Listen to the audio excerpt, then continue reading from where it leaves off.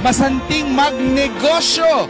Go Negosyantes, welcome po sa pinakamalaking one-on-one negosyo mentorship program sa bansa, ang Mentorship Money and Market on Wheels.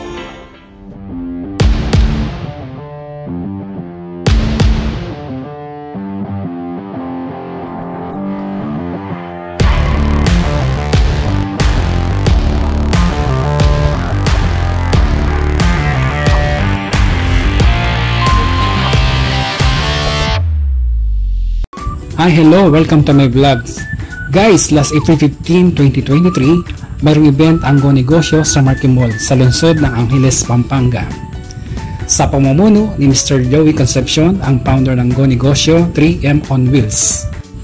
At nang marating ko nga ang Marquee Mall, agad ako nagparehistro at kumuha ang spot para malaman ko kung ano ba itong one-on-one mentorship program ng Go Negosyo. At na mag-umpisa na nga ang programa ng event, ang kanilang host na si Mr. Betong Sumaya ng GMA Artists ang nagpakilala sa mga sponsors at sa mga tabagsalita bilang mga guest speakers ng programa. Realize on your meeting with each other, mentors and mentees, and ultimately, we will all be part of a growing network. Network of entrepreneurs, not only in the Philippines, but soon you will realize we are or we will be all over ASEAN.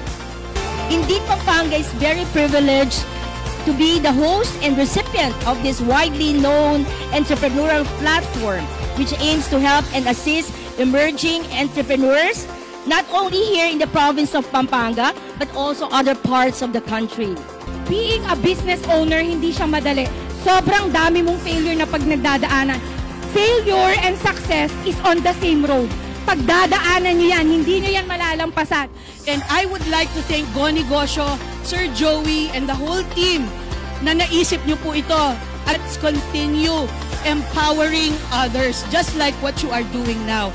Napakaganda po nito and I hope all around the, the country ma-replicate po itong ginagawa ng Go Negosyo on the local government level. First of all, I'd like to welcome all of you Three Among Wheels in Pampanga.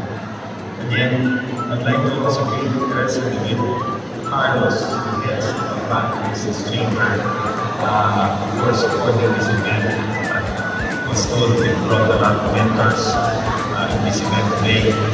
Uh, my apologies for not being able to attend this event. We decided to do medical test and hopefully we will continue to visit your areas and the different parts At alam nyo guys, isa sa kanilang mentor speaker ay si Miss Cindy Torres ng Sisilan World of Sweets. Sila ang gumagawa ng mga iba't ibang klase ng pastillas, mayroon pang art design ang karamihan ng ginagawa nilang pastillas. At sakto naman, sa hindi inaasang pangyayari, pinalad ang yung lingkod na makapanayam siya ng personal para malaman ko kung paano ba nila ginagawa ang pastillas at pinapatakbo ang ganitong negosyo. Okay guys?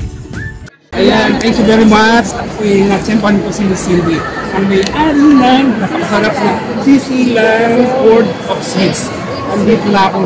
Pinagdasal ko to. Mentor na daw kanina si Sir. Oo, inantay ko talaga siya. Bumalik lang daw ulit siya kasi nakita niya ako. Pinagdadasal niya daw na ako daw dapat yung makatapat niya. Ito po yung product niya, mamaya didiscuss niya po sa akin. Bali, ang balik ko magkita ko sa kanya. At siya ang sasagot sa akin. At Miss Cindy, saan naman sa panagkita kanina, gusto ko lang alam ulit kung paano tayo nag-set. Paano nag-set ko yung PC niya? Ano bang naging, ano, start back, back na uh, ko Ayan. Sir Reynaldo, no, nice meeting you. I think ah, nakakatuwa. I, I always love to share my story dahil lagi ko sinasabi ko, sir, that isa sa mga goal namin sa business is not just to earn, but to earn while making an impact. And nakakatuwa si sir na bumalik pa daw siya para makita niya ako dito. So, talagang eto, binablog niya pa tayo. So, kasi nagko-content siya. So, panoorin niyo to, mga sneak tag mo kami, sir. So, kwento ko paano ba kami nagsimula? Sabi ni Sir, OFW din daw siya before. So, kasi kami OFW. So, sabi ko, so my thinking is kapag nag-OFW ako, doon na masusolusyonan. Problema ko, so nakinig ka naman, sir, no? Okay lang. Sana naririnig malakas naman yung boses ko. So, akala ko, sige lang po, sir. So, ayan. Akala ko, kapag nag-OFW ako, doon na masasagot lahat ng mga pangarap ko, doon na ako yayaman. Pero end up, nangyari siya ng most devastating moment. So, may okay naman kasi I got pregnant that time, pero kasal na kami ng husband ko that time. Kaya lang kasi, kailangan namin umuwi. And bago kami umalis sa Pilipinas, nagkaroon kami ng loan. Kasi nga, ang instinct ko, dati, that bahay is an asset. So, nag-loan ako, nag-loan ako. Ngayon, ang naging problema is, wala, di ba? Yes, umuwi ako dito, pamasahin namin, sinagot namin. And my mom, ang lagi niya sa amin sinasabi, kapag nag-asawa ka na, you are on your own. So, maniniwala ba kayo, sweeties, that I am Cindy Torres, I am broke, unemployed, utang dito sanla doon, I even sanla may wedding ring nang hindi na natubos. Ganon kami kalugmok before. Lagi ko itong sinasabi, sir, kasi ang dami din i-inspire na, imagine si Miss Cindy, ganun pala siya kalugmok before, pero nakaahon siya, di ba? Di ba? Who would have thought, di ba? So, na-experience ko, guys, liman-libo, wala kami mahanap na trabaho, buntis ako, di ako makapag-work. Yung asawa ko nakahanap siya, but eventually hindi kasha kasi ang dami namin binabayaran Meaning doon. to say, nag-start ka sa 5,000 sa business na to. Yes, yeah. Pero before mangyari to guys, uh, may 5,000 din yung asawa ko, may mga nasisave kami 5,000 lang monthly, ganyan. So, bumili ako ng ukay-ukay. Kasi nga, I love fashion. Akala ko okay na pagbukas ko ng bill, guys, cellphone. Di ba, imagine, dipit na dipit na ako, wala na akong pera sa likod pa. Following, avocado. Akala ko okay na, nag-invest na naman ako. Pagbukas ko, guys, ng avocado, sing laki ng bayaran. And dito na pumapasok, sabi ng parents ko, anak, bakit di mo na lang subukan magtinda ng pastillas? So, I have this 5,000 na naman on Ito my na yun. pocket. Yeah. Pero guys, naranasan ko po, wala kami pambili ng diapers ng anak ko. So, sabi ko, 5,000, ayan na naman, baka malugi na naman ako. Pero guys, I have this attitude na giving up is not an option for me. Kasi naman, guys, I don't, I don't, I don't have option na mag-give up kasi pag nag-give up ako mga na. And I know that gusto ko ng masarap na buhay, simpleng buhay. Maraming tao rin nagsasabi na akala nila ang simpleng buhay is yung gigising ka sa umaga, may trabaho ka, may pera ka. Pero guys, sa akin iba eh. I want, iba yung definition ko ng simpleng buhay. Para sa akin guys, ang simpleng buhay is yung gigising ka ng umaga, hindi mo na po problemahin pang-bili mo ng ulam, hindi mo po problemahin pang-tuition mo sa anak mo, gusto mong kumain, makakakain ka, di ba? At sa business mo. Yes, dahil sa business. So, dito na nag-start, guys. Sabi ng parents ko, pastillas. Sabi ko, Mommy, sino namang yayaman sa pastillas? Pastillas lang naman yan. And marami din tao yung nagmaliit sa akin nung naging start ako. Pastillas? Grabe. Sino bang yayaman dyan sa pastillas? Pastillas lang Yes, naman know yan. bakit ano, kakaiba yung pastillas mo? Kasi yung kanya ano, ito mo, may baboy. Yeah. At the same time, may iba pang feature Iba't iba pang flavor, kaya lang nakuha na kasi yung iba, sayang. Ito yung mga produkto mo, Yeah, ba? isa to, Ano have- yung pinak ano yung pinakamabenta sa produkto? Yeah. This, messy cookies and Ito, yung mga ganito. So, yeah. Yung mabenta sa kanya. Yeah, messy Itong cookies. And of course, yung mga arts pastillas Oh, namin. have. pastillas. Ah, art pastillas ang tawag dito. Yes, art. So, ang tawag namin dito, guys, pastillas with the trees. Yes. We put, we put trees sa mga pastillas namin. Pero So, sa Facebook, makikita ko ba yung mga ibang design nito? Yes, makikita Oh, nyo, guys. Il- Ilalagay natin yung mga ibang design nito sa vlogs ko para makita nyo. Yes, CC Land Road of Sweets Main. And sa TikTok, please follow us, Yes, CC yes, Land Road of. Sweets. So, back tayo sa story. So, marami nagmaliit, pastillas lang naman yan. And even me. Pero sabi ko, OMG, I don't have option. Bakit to make this work? Kasi ala na ako, nagkandalong-dilugi na ako, hindi kasha. Nawala ng trabaho yung asawa ko pala that time. Kasi pandemic and pandemic kami nagsimula. Imagine pandemic, failure after failure. And sabi ko, okay, kailangan mag-work tong pastillas na to. Kasi kung hindi, na nga. Yes. Kasi ayaw namin mag-rely sa parents namin. Kasi may asawa na ako. I need to be independent. So, ibig sabihin, etong pastillas ito ang medyo nagpabago sa buhay mo. Eto talaga, sir, Ang- hindi medyo. Yes. Eto, talaga. Yes. Itanong ko ngayon, magkano ba ang kinikita ng pastillas mo ngayon? Kung ano ba samahin natin, OFW ko, sabihin ko, kinikita lang ko 50,000 every month. May ano ba? May 4 digits ba? O 5 digits? Actually, guys, uh, not to brag, but kumikita na tayo ng 6 to 7 figures. Wow! Yeah. Wow! Congratulations! So, yan. Yes, Di ba yes. pastillas lang naman Oo, daw? every month may gano'n ha? Every month ang ano ba? yeah, basta ganun ka. Hindi ma-mention sa Basta daw, eto, nagpabago sa buhay niya. At medyo nakaka-6 digit siya every month. Yes, guys. Dito sa pastillas business na to, it gives me a simple life that I want. Nabayaran namin yung loan namin. Lahat-lahat na, you could imagine, guys. And I want to be an inspiration na yung pastillas na sinasabi lang naman nila, we transform ordinary food into something extraordinary. Imagine pastillas, yes, pastillas nga lang naman daw. But who would have thought, sir, that this pastillas business could grow something like Yes, this? Yes. Ang tanong ko dito, sa tungkuhan ng mga ano mga ways na materials mo like gatas ba ito o powder milk o Yeah, whatever. ang dami nagtatanong ngayon. Actually, before guys, nag-sell kami ng mga Carabao's milk. Kaya lang shelf life na yan, guys. Is masitas. So dahil today si Sisilan is naka-e-commerce na, powdered milk yung ginagamit natin. Pero pure powdered milk, hindi tayo naglalagay ng mga harina or anything. And we have more than 60 plus variant of About yung pastillas. concern sa diet, like matamis ba ito, whatever. Meron ba kayong gano'n? Yung mga low, low fat, low sweet? Actually, ngayon wala pa. Pero people always ask me, Ma'am, so hindi ba ka sobrang tamis na yan? Isang bagay na may pagmamalaki namin sa Sisilan, guys, is our product is made with the right amount of Yes. sweetness. Ang daming feedback, Mom, grabe ang sarap. Ulit-ulitin kasi tama-tama lang yung sweetness. Sana ba mapapasyalan ko yung factory Yeah, mo para soon. makita natin. Kaso kabalik ko ng ano eh, 19 eh. Ah. Sayang ano.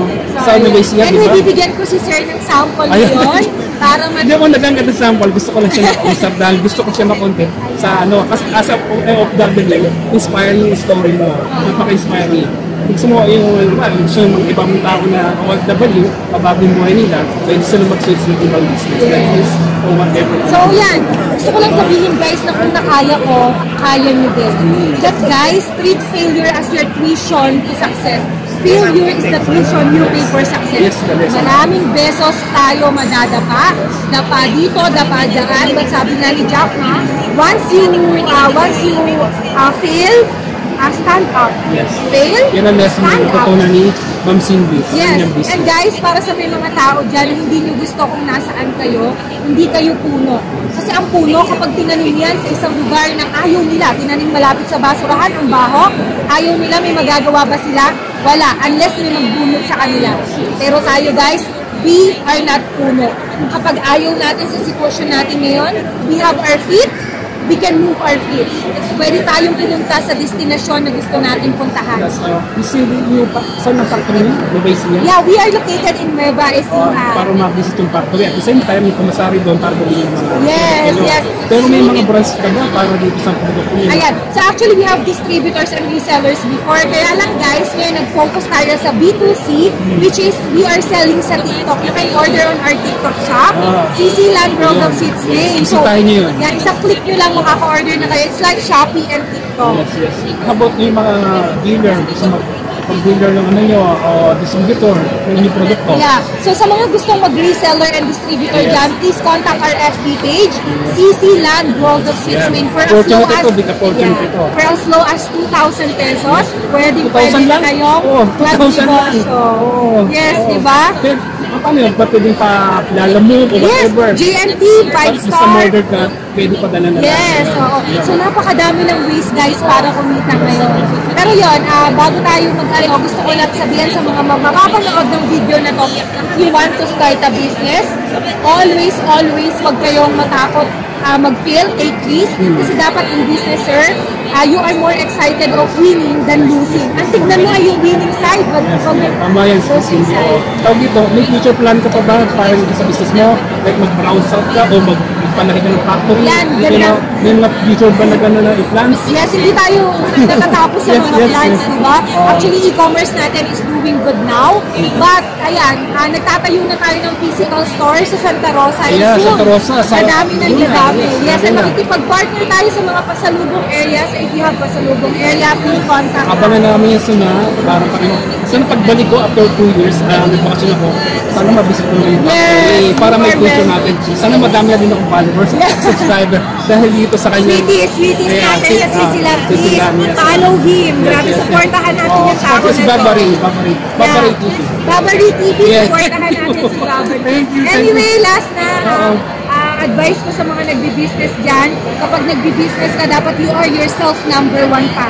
Maniwala ka lagi sa sarili mo, ano man yung sabihin ng ibang tao, huwag kang makikinig. Always believe in yourself dahil kapag naniwala ka sa sarili mo, you are halfway there. Nasa kalahati ka na ng At pangarap saka mo. continue ka lang kung ano yung mga mga kagutong mga pagsubok, huwag kang bitawan.